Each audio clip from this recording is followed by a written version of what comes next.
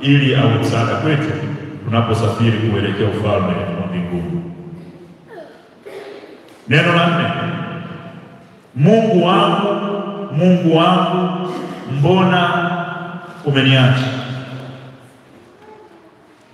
Mungu wangu, Mungu wangu, mbona umeniacha? Marko 15, Marko sura ya 15 aya ya 33 mpaka 34.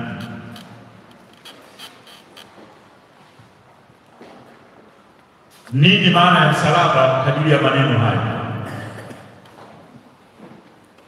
Msalaba ni chombo cha kikatili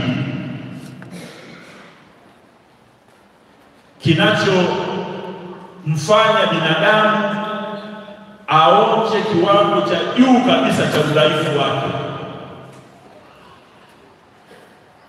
Tunaposali kanuni ya imani, huwa tunakiri kwamba Yesu ni Mungu kweli na ni mtu kweli. Sasa hapa kama mtu kweli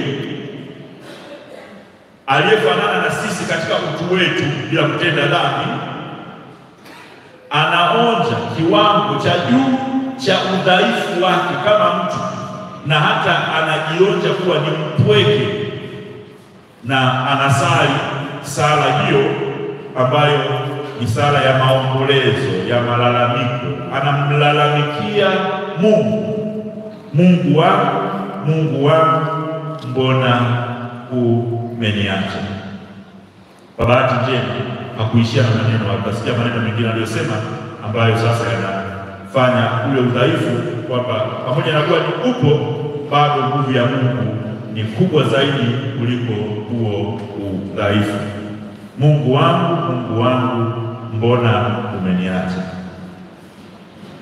Neno la tano, neno la tano, neno msingi sana. Eh, ni sentensi fupi lakini msingi sana. Nina kiu, nina kiu. Yohane 19 28 29. Yohane 19 sura ya 19 aya ya 28 mpaka ya 29. Msalaba ni nini? Kadia maneno haya, msalaba ni kiu ya Mungu, ni kiu ya Mungu ya kumkomboa mwanadamu.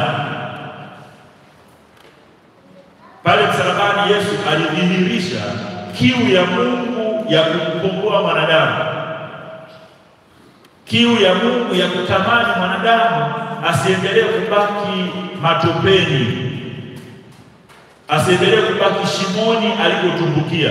Ana kiu.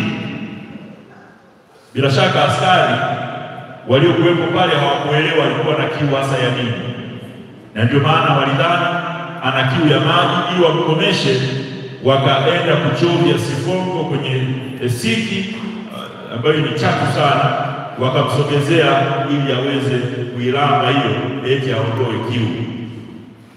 Hawakuelewa. Yeye alikuwa na kiu na roho zao, alikuwa na kiu ya roho zetu, na anaendelea kuwa na kiu na roho zetu. Bado ana kiu pale msalabani ya roho zetu.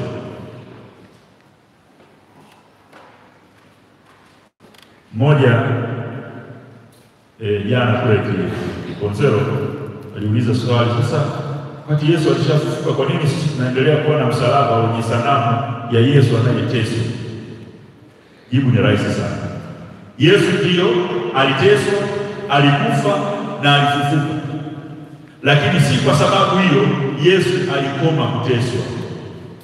Yesu bado anasulubiwa hata leo. Yesu bado anateseka hata leo kwa namna mbalimbali. Mimi na wewe tunaendelea kumtesa Yesu kwa namna moja au nyingine, kadiri ya mwenendo wetu wa maisha na tabia zetu mbaya, tunamtesa Yesu Baba, kwa sababu kila kila dhambi tunayotenda haimfurahishi Yesu, inamuumiza. Kila uasi tunaofanya unamuumiza Yesu, haumfurahishi, kwa sababu hiyo bado anateswa na kwa sababu hiyo bado sisi tunahitaji kupiga magoti mbele ya Yesu msulubiwa na kuomba huruma, kufanya toba. Nina kiu. Yesu